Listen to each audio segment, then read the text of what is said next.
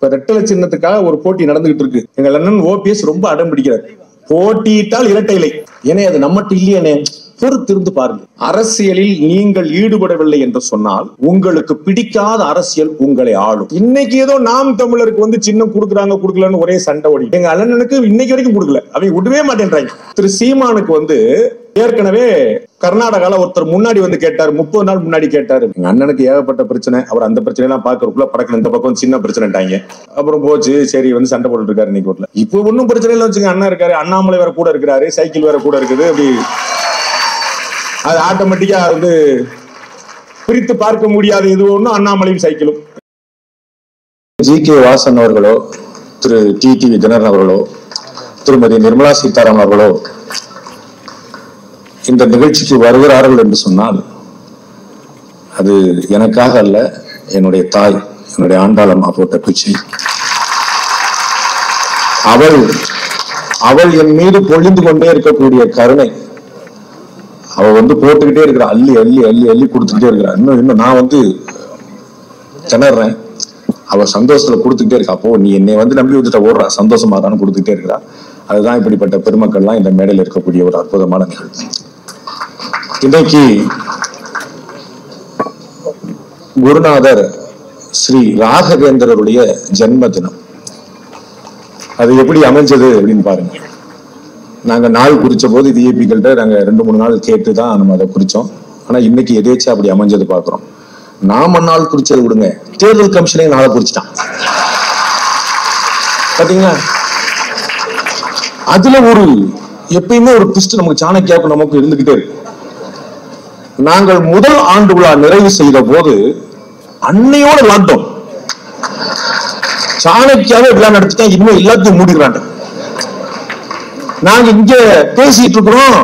திரு எடப்பாடி பழனிசாமி அப்போதைய முதலமைச்சர் அறிவிச்சிட்டு இருக்கிறார். இனிமே மால் கிடையாது ஸ்டால் கிடையாது ஹால் கிடையாது வீடு கிடையாது ஓடா அப்படின்ற வெளியில வந்து பார்த்தா பயங்கரது. அன்னைக்கு காலையில சூப்பர் ஸ்டார் ரஜினிகாந்த் அவர்கள் காலைல தொலைபேசியில் அழைச்சார் அன்னைக்கு. இன்னைக்கு நிகழ்ச்சி இருக்குதா அப்படின்னாரு. நாங்கள் வந்து அடைச்ச கடையை திறந்தா நடத்திடுவோம்னே நாங்கள் எல்லாம் சாணக்கியெல்லாம் கண் மாதிரினே அப்படின்னு. சரி அப்படின்ட்டார் அவர் வர்றேன்னு சொல்லலை. அஞ்சு ஐம்பத்தஞ்சுக்கு பார்த்தா அவருடைய பிஆர் ரியாஸ் வந்து நிற்கிறார் ஆறு மணிக்கு பார்த்தா அண்ணனே வந்து நிற்கிறார் நாங்கெல்லாம் அவ்வளவு ஒருத்தர் தலைவரே நீங்களே வந்துட்டீங்களே அப்படின்னு அண்ணன் வந்து முதல் வருஷம் உட்காந்தார் அப்புறம் அவரை வச்சு நம்ம முதல் வருஷம் உட்காந்து நான் சொன்னேன் அவர்கிட்ட. முன்னாடியே சொல்லி நீங்க ஒரு போஸ்டர் ஒட்டி ஒரு ஆயிரம் பேர் கூட்டியிருப்பேன். நீங்க இப்படி பொசுக்குன்னு வந்து உட்காந்துட்டு சத்த காட்டா வந்து உட்காந்தா என்ன செய்யுது அப்படின்னு. அந்த மாதிரி அன்னைக்கு கொரோனா லாக்டவுன் ஆரம்பிச்சது.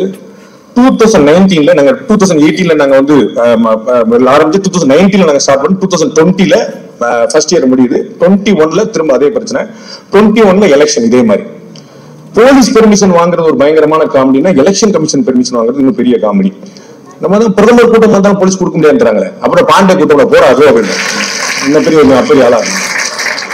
அவர் பிரைம் மினிஸ்டருங்க ஹலோ யாரா இருந்தாலும் சரிங்க. நரேந்திர மோடி எங்க ஊருக்கார் கிடையாதுங்க. அப்புறம் போய் ஆர்எஸ்எஸ் தான் கொடுக்க மாட்டாங்க நினைச்சா வந்து பிரைம் மினிஸ்டர் கூட நாங்க நடுநிலைங்க. யாரும் பாரபட்சம் பாக்குற கிடையாதுங்க எல்லாரும் எல்லாத்துக்கும் உண்மைதாங்க அப்புறம் கோர்ட்ல போய் சொல்லிட்டு அப்புறம் கோர்ட்ல சொல்லிட்டாங்க. கோர்ட்ல சூப்பரா சொல்லிட்டாங்க. எந்த ரூட் போனோம்? எப்ப போனோம்? எப்படி போனோம்? எவ்வளவு நேரம் போனோம்? எல்லாத்தையும் போலீஸ் முடிவு பண்ணிக்கணும் அவர் வருவார் அப்படின்னு. எல்லாத்தையுமே போஸ்ட் பண்ணிக்கிறாங்க என்ன செய்யறது? அப்படி ஒரு பாதுகாப்புக்கும் பிரச்சனையா தேவை. சோ ரெண்டாயிரத்தி இருபத்தி ஒண்ணுலயே எலெக்ஷன் கமிஷன்ல பெரிய சிக்கலாகி நாங்க வந்து திருப்பி அவங்கள்ட்ட எல்லாம் பெர்மிஷன் கேட்டு இவங்கள்ட்ட எல்லாம் பெர்மிஷன் கேட்டு இப்போ நாங்க திரும்பி பெர்மிஷன் கேட்க போனோம் police sir election date announce பண்ணிடுவாங்களே sir sir அதுக்காக தானே சார் கூட்டமே போடுறோம் நாங்க. சார் எனக்கு நமக்கு என்ன சார் வேலை? அதுக்கு தானே சார் நம்ம கூட்டமே போடுறோம் அப்படின்னு.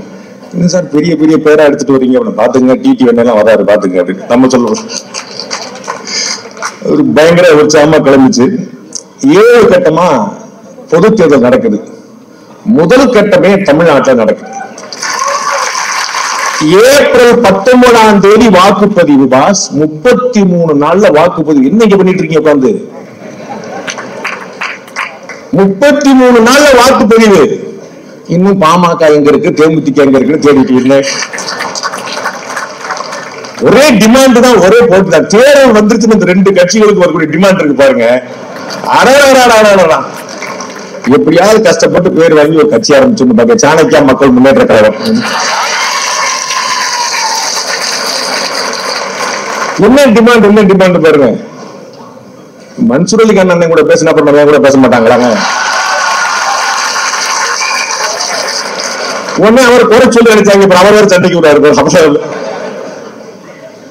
அவரை கட்சி விட்டு திரும்ப உங்களுக்கு? இன்னைக்கு மதியம் இறக்கை எங்க ஊர் கையில பிரேக் நியூஸ் சொன்னாங்க. என்ன மாப்பிளோட தெரியுமா? மன்சூரிக்கார கட்சி விட்டு மன்சூரிக்கார கட்சி கொடுத்துக்கு அவர்தானா கட்சி அப்படின்னு. அதெல்லாம் கிடையாது. பொதுக்குழு செயற்குழு கூட்டல அப்படின்னு சொல்லிட்டு பொதுக்குழு செயற்குழு கூட்டம் நினைக்கிட்டாங்க பொதுக்குழு செயற்குழு கூட்டாம அவர் டிசைட் பண்ணான்னு சொல்லி பொதுக்குழு செயற்குழு வந்து கூட்டாம இவங்க முடிய மாட்டாங்க இந்த பொதுக்குழு செயற்குழுனாலே பிரச்சனை தான் அது அது அதிமுகவா இருந்தாலும் சரி எதுவா இருந்தாலும் சரி.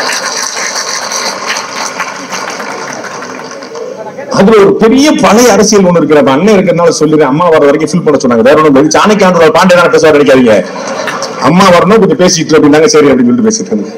என் ஷெடியூல் படி வந்து அம்மா முடிச்சு பேசி முடிச்சதுக்கு அப்புறம் தான் நான் பேசணும்னு நினைச்சிட்டு இருந்தேன். ஏன்னா அப்பதான் நமக்கான ஆடியன்ஸ் ஒரு நாலு பேர் மட்டும் இருப்பாங்க. நம்ம தனியா பேசிட்டு இருப்போம். எனக்கு தெரியும் அண்ணன் வாசம் எந்திரிச்சாரு நீங்க ஐநூறு பேர் கிளம்பிடுவீங்க அண்ணன் டிடி எந்திரிச்சாரு ஐநூறு பேர் கிளம்பிடுவீங்க முத்த முத்த நாங்க நாலு பேர் தான் பார்த்துப்போம். எனக்கு ஒன்றும் பிரச்சனை கிடையாது. நாங்கெல்லாம் வந்து டிவியில பேசுறவங்க. எதிர என் தம்பி கேமராமேன் மட்டும் தான் இருப்பான். அவனே தேடார வரைக்கும் விட மாட்டானாங்க சார் இருபத்தெட்டு நிமிஷம் ஆச்சு. சார் ரெண்டு நிமிஷம். முக்கியமான மேட்டர் பின்னாடி தாண்டா வருது. அண்ணன் முக்கிய டிஸ்ட் வச்சிருக்கேன் அப்படி.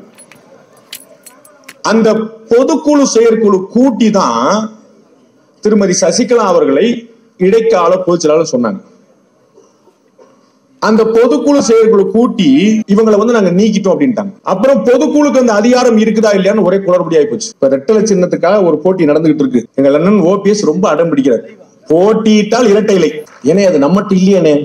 பொறுத்து இருந்து பாருங்க. இந்த அரசியல் தலைவர்களுடைய அந்த மர்மங்கள் இருக்கு பாருங்க. நமக்கு ஒரு டவுட் வருது. திடீர்னு எலெக்ஷன் கமிஷன் நோட்டீஸ் ஆஹா ஆரம்பிச்சிட்டாங்களா?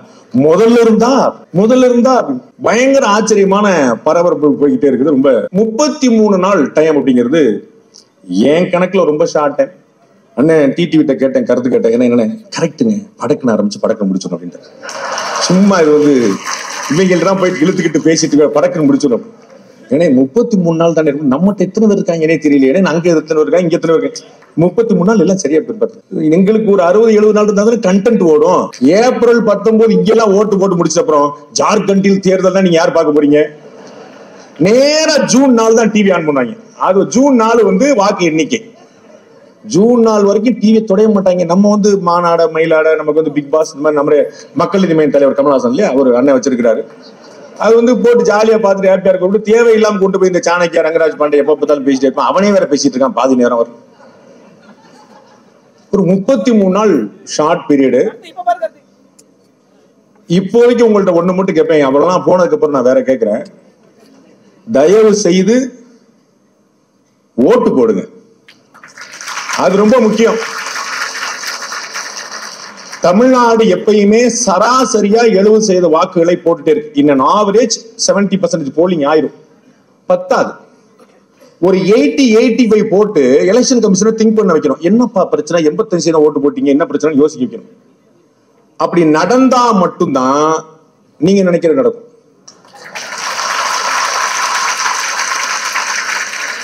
என்னமோ நீங்க நினைக்கிறது எனக்கு தெரியுங்கிற மாதிரியும் என்னமோ நான் சொன்னதான் நீங்க நினைக்கிற மாதிரியும் அந்த திலானா மோகன பல்ல சொல்ல பாங்களா அவர் வாசிக்க இவர் ஆட நான் சொல்றது உங்களுக்கு ஒண்ணு வேணும்னா நீங்க போய் ஓட்டு போடுங்க. வேற ஒண்ணுமே இல்லை. என்கிட்ட ஒரு ஒரு நல்ல ஒரு அறுபது அறுபத்தஞ்சு வயசு லேடி என்கிட்ட கேட்டாங்க. அதெல்லாம் விடு. இந்த எலெக்ஷன்ல யார் ஜெயிப்பா? அப்படின்னு. நான் விடல. மேடம் நீங்க யாருக்கு ஓட்டு போட்டீங்க? அப்படின்னு. நீங்க யாருக்கு ஓட்டு போடுவீங்கன்னு? நான் தான் ஓட்டு போடுறதே கிடையாது இவாளெல்லாம் ஓட்டே போடுறது கிடையாது யார் ஜெயிப்பான்னு உங்களுக்கு தெரிஞ்சுட்டு போடனே that is not going to work எங்களுடைய பியூர் பாலிடிக்ஸ் கிளாஸ்ல நான் சொல்லுவேன் அரசியலில் நீங்கள் ஈடுபடவில்லை என்று சொன்னால் உங்களுக்கு பிடிக்காத அரசியல் உங்களை ஆளும். அரசியலில் நீங்கள் ஈடுபடவில்லை என்று சொன்னால் உங்களுக்கு பிடிக்காத அரசியல் உங்களை ஆளும். அப்ப உங்களுக்கு பிடிக்கணும் ஒண்ணு வேணும்னு நினைச்சா அதை யூ ஹாவ் டு இனிஷியேட் உங்களை கோஷம் போட சொல்லல. கொடி முடிக்க சொல்லல ஆர்ப்பாட்டம் பண்ண சொல்லல. நீங்க ஓட்டு போட போங்க. இந்தியாவுல நூறு வயதுக்கு மேல எத்தனை பேர் இருக்காங்க தெரியுமா? இன்னைக்கு தான் எலெக்ஷன் கமிஷன் சொன்னார். ரெண்டு லட்சம் பேர் இருக்கிறாங்க. இந்தியாவுல நூறு வயதுக்கு மேற்பட்ட வாக்காளர்கள் ரெண்டு லட்சம் பேர் இருக்கிறாங்க. எண்பத்தஞ்சு வயசுக்கு மேல ஏகப்பட்டது இரு ஏகப்பட்டது. அவங்களுக்கு எல்லாம் வீட்டிலேயே வந்து வாக்கு செலுத்துறதுக்கான ஏற்பாடு பண்ணிருக்காங்க. அவங்க விரும்பினா எண்பத்தஞ்சு வயசுக்கு மேல இருந்தா இந்தியா முழுக்க நடைமுறைக்கு வருது முதல் முறையா. எண்பத்தஞ்சு வயதுக்கு மேற்பட்டவர்கள் நாற்பது சதவீதத்துக்கு மேல் மாற்றுத்திறனாளிகளாக இருப்பவர்கள். அவர்கள் எல்லாம் நமக்கு ஏதாவது யார் கொடுத்த ஐடியா அது?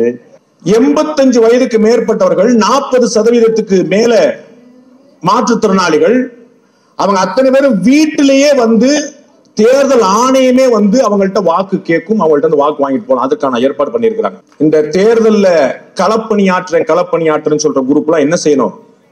எண்பத்தஞ்சு வயசுக்கு மேல யார் யாரெல்லாம் இருக்காங்க அடையாளம் காணும். மாற்றுத்திறனாளிகள் ஏரியால யார் யாரும் ஏன்ன நீங்க போலன்னு அவன் போயிடுவான். யாரு? யாரு? அவங்க. இது ஒரு ஆரம்பங்க. மூணு பெருமக்களை மேல வச்சுட்டு முடிவா? ஆரம்பம். இப்பதானே ஓப்பனிங் இன்னும் போக போக பாருங்க. இன்னும் பயங்கரமான காலகட்டம். சோ நான் பாருங்க தேர்தல் ஆணையத்துக்கு சாதகமா பேசிட்டு இருக்கிறேன். நீங்க வேற எதுவும் நினைச்சு பேசிட்டு நானும் 82 வயதுக்கு மேற்பட்ட பெருமக்கள் நாற்பது வயதுக்கு மேல இருக்கக்கூடிய மாற்றுத்திறனாளி பெருமக்கள் அவர்களெல்லாம் வாக்கு செலுத்த வைப்பதற்கான உங்களுடைய களப்பணி ஆற்றுங்கள்னு சொன்னா நான் பிஜேபிக்கு வாக்கு செய்றீங்கன்னு சொன்ன மாதிரி நீங்க கேட்டுட்டு இருக்கிறீங்க. நான் சொல்ல மாட்டேனே. நான் அப்படி சொல்ல மாட்டேன். அப்ப எப்ப வந்து ஒரு எண்பத்தஞ்சு சதவீதத்துக்கு மேல வாக்குகள் வருதோ அப்பதான் நம்ம நினைக்கிற சாத்தியமா? இடைத்தேர்தல்கள் எப்படி சாத்தியமாகுது? எங்க அண்ணன் அழகிரி எப்படி எப்படி மதுரையில திருமணத்தை நடத்தி காட்டினார்? மைக்ரோ மேனேஜ்மெண்ட் நான் திரு அழகிரியோடைய திருமங்கலம் ஃபார்முலாவை கேலி பேசுற ஆள் கிடையாது. அதுல இருக்கக்கூடிய மேனேஜ்மெண்ட் தியரிய வியக்கிற ஆள் நான். நல்லா புரிஞ்சுக்கோங்க. அவர் கெட்டிக்காரரு செய்யறாரு உங்களுக்கு வழி இல்ல உட்கார்ந்து நொல்ல சொல்லிட்டு இருக்கீங்க. வழி இருந்தா நீங்களும் செய்யுங்க. மைக்ரோ மேனேஜ்மெண்ட் ஆர்கே நகர்ல ஒருத்தர் எப்படி ஜெயிச்சாரு?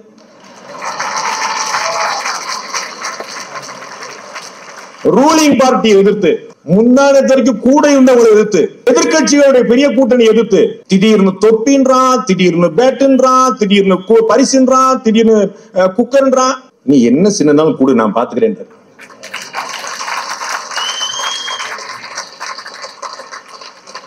இன்னைக்கு ஏதோ நாம் தமிழருக்கு வந்து சின்னம் கொடுக்குறாங்க கொடுக்கலன்னு ஒரே சண்டை ஓடி எங்க அண்ணனுக்கு இன்னைக்கு வரைக்கும் கொடுக்கல. அவங்க விடவே மாட்டேன்றாங்க. இப்ப எந்த பிரச்சனையும் இல்ல. அண்ணன் கிரீன் சிக்னல் வாங்கிட்டு வந்துட்டாரு. உங்களுக்கு தான் ரெட்டலை கொடுக்குறேன் சண்டை போட்டுட்டு இருக்கீங்க அப்புறம் அது வேறையா உங்களுக்கு அதுக்கே ஒரு போட்டி போட்டுட்டு இருக்காரு அப்ப என்ன சின்ன வருங்கிறத ஒரு இந்த வருதுனே வருதுனே வருதுனே நீங்க ஏன் உங்கள்கிட்ட சின்ன வரலன்னு என்கிட்ட கேட்டு நிறைய செய்யுங்க வருகிறீங்க எங்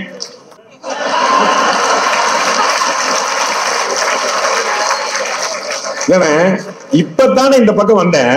அடுத்த அப்படி அடுத்த சீட்டு தான். நான் பொதுவா சீட்டுக்கு ஆசைப்பட மாட்டேன். ஒவ்வொரு சீட்டா வரலாம் தான் யோசிச்சேன். சைக்கிள் சின்னத்துல எவ்வளவு பெரிய பிரச்சனை தெரியுமா? திரு சீமானுக்கு வந்து ஏற்கனவே கர்நாடகால ஒருத்தர் முன்னாடி வந்து கேட்டார் முப்பது நாள் முன்னாடி கேட்டார். எங்க அண்ணனுக்கு ஏகப்பட்ட பிரச்சனை. அவர் அந்த பிரச்சனை எல்லாம் பாக்குறதுக்குள்ள படக்குல இந்த பக்கம் சின்ன பிரச்சனைட்டாங்க அப்புறம் போச்சு சரி வந்து சண்டை போட்டு இருக்காரு இன்னைக்கு வீட்டுல ஏன்னா ஒரு மாநிலத்திற்குனால இன்னொரு மாநிலத்தில் கொடுக்க மாட்டேன்னு. சமாஜ்வாடி கட்சி சைக்கிள் வச்சுக்கிட்டு இருக்கு. தெலுங்கு தேசம் கட்சி சைக்கிள் வச்சுட்டு இருக்கு. எங்க அண்ணன் ஏற்கனவே சைக்கிள் வச்சிருந்தாரு. இவங்க நினைச்சா ஒண்ணு செய்யறாங்க நாங்க என்ன முந்தினவருக்கே முதலிடம்ன்றாங்க. எங்க போய் முந்தணும் தெரியல எங்க போய் முட்டணும் தெரியல. இப்ப ஒன்னும் பிரச்சனை இல்லை. வச்சுங்க அண்ணா இருக்காரு. அண்ணாமலை வேற கூட இருக்கிறாரு. சைக்கிள் வேற கூட இருக்குது. அப்படி அது ஆட்டோமேட்டிக்கா வந்து பிரித்து பார்க்க முடியாத இது ஒண்ணும் அண்ணாமலையும் சைக்கிளும் இல்லையா? அது வந்து அதனால வந்து ஆட்டோமேட்டிக்கா ஓடிடும் இவ்வளவு பிரச்சாரம் பண்றேன். ஏதாவது கோப்பாச்சா கேப்பாச்சா ஏதாவது ரெண்டு பேரும் ஏதாவது கொடுத்தீங்கன்னு. அண்ணனே வேற வந்து எனக்கு என் க- கட்சி கொஞ்சம் ரெண்டு பிரச்சாரம் பண்ணேன். நாலு நல்ல வார்த்தை சொல்றேன் நான் வந்து எங்க சேனல்ல மைக் டெஸ்ட் பண்ணும்போதெல்லாம் வந்து மைக் டெஸ்ட் பண்ணும்போது நான் வந்து ஏன்னா நாலு நல்ல வார்த்தை சொல்லுங்க அப்படின்னு நான் வந்து மைக் டெஸ்ட் பண்ணுங்க அலோ அப்படின்னு சொல்லும்போது நாலு நல்ல வார்த்தை சொல்லுங்க. அது மாதிரி அண்ணன் வந்து இப்ப என்னை பத்தி ரெண்டு நல்ல வார்த்தை சொல்லுங்க உங்களை பத்தி தான் நாங்க அஞ்சு நிமிஷம் சொன்னோம் வந்து அவ்வளவு அவ்வளவு ஆச்சரியமான மனிதர். இன்னைக்கு யார் கிடைப்பா? தமிழ்நாட்டுல இப்படி ஒரு அரசியல்வாதி வந்து கற்பனை பண்ண முடியாது. ஒரு கெட்ட வார்த்தை பேசாம ஒரு ஆபாச சிந்தனை இல்லாம யாரையும் எடுத்தெறிஞ்சு பேசாம எதிரியை கூட மதிச்சு பேசக்கூடிய ஐந்து ஆண்டுகளுக்கு மேல் மத்திய அமைச்சரா இருந்து ஒரு ஊழல் குற்றச்சாட்டு கூட சொல்ல முடியாத பெரும் கோடீஸ்வர் குடும்பத்தில் பிறந்து சாதாரணமாக தரையில் நடந்து ஒவ்வொரு காமன் மேனையும் பேசிட்டு இருக்கிற இன்னைக்கு பேசும்போது என்ன சொல்றாரு Pandey this is my function you should obey to me அப்படின்றார். இந்த உரிமை வேற யாரு எடுப்பா? இந்த எளிமை வேற யாருக்கு கிடைக்கும்? நான் சொல்றேன் நீ கேளு அந்த மாதிரி ஒவ்வொருத்தர்ட்டையும் ஒவ்வொருத்தர்ட்டையும் அன்னைக்கு ஒரு நாள் திடீர்னு அண்ணன் ஃபோன் பண்ணாரு. அண்ணன் பேர்ல இருந்து ஃபோன் வருது. நம்ம ஒன்றும் தப்பு பண்ணலன்னு சொல்லிட்டு அண்ணன் என்ன கூப்பிட்டீங்க ஐயா உங்கள்கிட்ட ஒரு விஷயம் சொல்லணுமையா. என்னங்க? நீங்க ரொம்ப ரீச் ஆயிட்டீங்க அப்படின்னாரு. அப்படிங்களா ஐயா? இன்னும் சாணக்கியா ரொம்ப தூரம் போனீங்க அப்படின்னு நினைச்சு. இல்ல நான் மாதிரி கடலூர்ல கூட்டத்துல பேசிக்கிட்டு இருந்தேன். அப்ப ரெண்டு மூணு பேர் வந்து நம்ம கட்சியை பத்தி பேசும்போது ரெண்டு மூணு பேர் பாண்டே நம்மளை பத்தி நல்லா பேசுறாரு. பாண்டே ஐயாவை பத்தி பெருசா பேசுறாரு. எனக்கு ரொம்ப சந்தோஷமா இருந்ததுயா? நான் தேங்க் பண்றக்கா உடனே ரூமுக்குள்ள வந்து உனக்கு தேங்க் பண்ணேன் அப்படின்னு. எங்க கிடைக்கும் இத மாதிரி? எங்க கிடைக்கும் இத மாதிரி? ஒரு சூட் கேஸ் இல்ல. ஒரு கவர் கூட இல்ல. அத்தனையுமே இல்லாம நம்ம வந்து வெறும் அன்பு தான் நம்ம அன்பு தானே? அது அன்பு எப்பயும் ஓடிட்டு இருக்கும். அண்ணனை நான் வந்து வியந்து வியந்து வியந்து வியந்து என்னுடைய சின்ன வயசுல இருந்து பார்த்துட்டு இருக்கேன். எங்க மூப்பனாரியாவுடைய காலத்துல இருந்து நான் பார்த்துட்டு இருக்கேன். அவ்வளவு வியப்புக்குரிய மனிதர். அண்ணன் டிடி பத்தி சொல்லிக்கிட்டே போலாம். அவர் வந்து ஒரு பேட்டில் சொன்னாரு. பாண்டே வந்து இம்ரான் கான் மாதிரி யாருக்கரா போடுவாரு? நான் டேவிட் பூட் மாதிரி சிக்ஸரா அடிச்சிருவேன் அப்படின்னு. நான் கூட முதல் வரியை கேட்டு என்னை தான் பாராட்டார் நினைச்சேன். வந்து அண்ணன் நம்மள ரொம்ப பெருசா ரெண்டாவது வரியில சிக்ஸ் அடிச்சு போட்டு எப்படி சொல்லி விட்டீங்க நானும் அண்ணனும் பேசின லைவ் இன்டர்வியூ வந்து ரொம்ப வைரல் முதல்ல வந்து பயங்கர நல்லா வைரலா போச்சு. அது வந்து அது எடிட் பண்ணாம அப்படி நாங்கள் ஒன்றும் பெருசாக எடிட் பண்ண மாட்டோம். அது வந்து எங்க எங்க பேட்டி கொடுத்த எல்லாருக்குமே தெரியும். அண்ணன் திருமாவளவன் வந்து அண்ணன் ராமதாஸ் வந்து அண்ணன். யாருப்பா இந்த சரி பண்ணது? நமக்கே ஏன் தெரியுமா?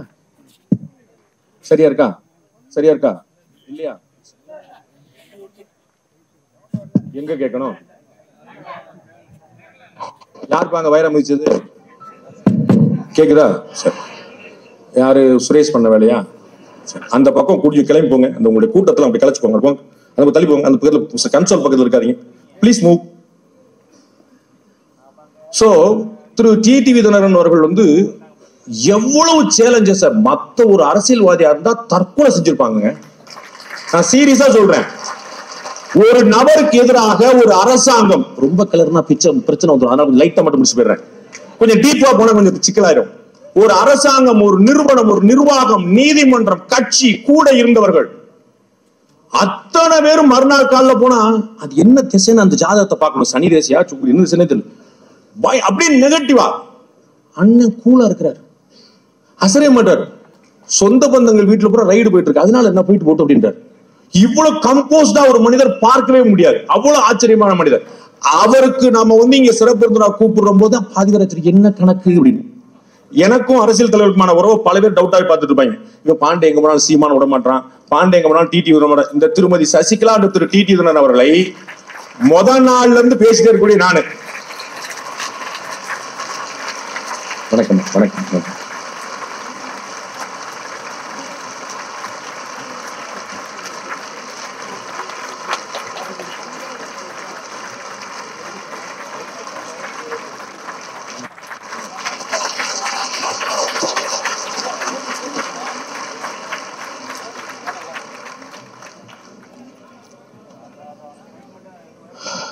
அம்மாவை பத்தி நிறைய சொல்லியாச்சு.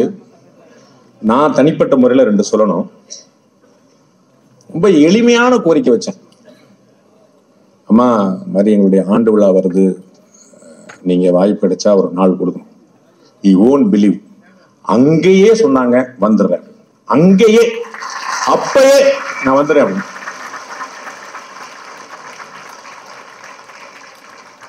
ஒரு யூடியூப் சேனலுக்கு ஃபைனான்ஸ் மினிஸ்டர் கூப்பிடுறீங்களாங்கன்னு என்கிட்ட நூறு பேர் கேட்டிருக்காங்க. அது யூடியூப் சேனலோட குறை இல்லைங்க ஃபைனான்ஸ் மினிஸ்டரோட பெருந்தன்மைங்க அப்படின்னு. அவங்களுடைய மெக்னானி விட்டீங்க அவங்களுடைய பெருந்தன்மைங்க அப்படின்னு. இந்த மாதிரி சின்ன பிள்ளைகளை வந்து வளர்த்து விடணுங்கிறது அம்மாவுக்கு தெரியாதா? பிள்ளைகளை வளர்த்து விடணுங்கிறது அம்மாவுக்கு தெரியாதா? கட்டாயம் பண்ணும். அவங்களுடைய உயரம் என்ன அப்படிங்கிறது நம்ம வெளியில இருந்து பார்த்துட்டு இருக்கிறோம். வெளியில இருந்து பார்த்தாலும் இந்த பக்கத்துல இருந்து அனுபவிக்கிற ஒண்ணு இருக்கு பாத்தீங்களா? அம்மாவுக்கு ஒரு அஞ்சு பிஏ இருக்காங்க. அஞ்சு பிஏல யாராவது ஒருத்தர் ப்ளீஸ் கால் மீன் எனக்கு மெசேஜ் போட்டா எனக்கு பிபி பூரா ஏறிடும் ஐயோ கால்மியா அப்படி சாமி எல்லாம் கும்பிட்டு பெருமாள் படத்தை வச்சுட்டு தான் போன் எடுத்து தலைவா என்ன சொல்லுங்க தலைவா அப்படின்னு. இந்த மாதிரி நீங்க மேடம் அப்படி கொடுத்தீங்க இங்க போறீங்க போறீங்க எல்லாம் போட்டு போட்டு இதை தூக்கி அங்க போடுங்க அதை தூக்கி தலைவா நான் வெளியே நின்று தலைவா இப்படியா ப்ரோக்ராம் நடத்தி தலைவா பயங்கர ஷெட்யூல்டா மெட்டிகுலஸா அப்படி அப்படி அப்படி அப்படி பிளான் பண்ணி பிளான் பண்ணி பிளான் பண்ணி தே மேட் இட் ஹேப்பன் அம்மா இன்னைக்கு இங்க கண்முடா நிக்கிறாங்க. We are thankful to you it's a great honour இந்த மூன்று விருந்தினர் பெருமக்களும் இங்க வந்தது வந்து எங்களுக்கு பெரிய கௌரவம் பெரிய மரியாதை. அதுவும் தேர்தல் தேதி குறிக்கப்பட்டிருக்கக்கூடிய நாள்ல முப்பத்தி மூணு நாள்ல தமிழ்நாட்டில் வாக்குப்பதிவு நடக்கக்கூடிய நாள்ல இது ஒரு அரசியலுக்கான தேர்தல் பிரச்சாரத்துக்கான ஒரு களமாக சாணக்கியா வந்து இருக்கிறதுல எனக்கு ஒரு பெரிய பெருமை. இந்த சந்தர்ப்பத்தை எங்களுக்கு தந்த எங்களை கௌரவிச்ச இந்த மூன்று விருந்தலுக்கும் என்னுடைய சிரம் தாழ்ந்த வணக்கங்கள். நன்றி.